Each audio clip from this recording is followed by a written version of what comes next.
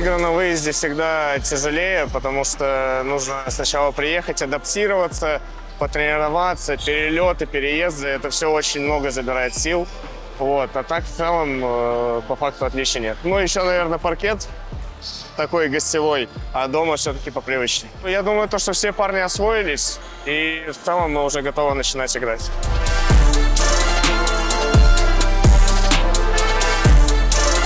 Первый же день, как мы только приехали, усп- успели с ребятами выйти, пройтись, прогуляться тут по базе.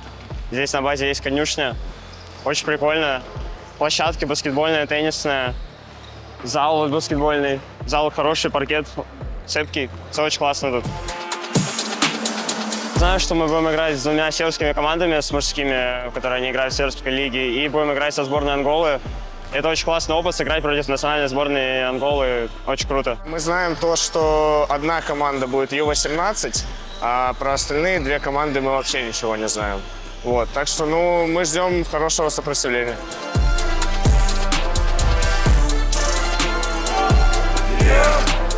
Любимые болельщики сборной, приглашаю вас смотреть наши игры на russiabasket.ru.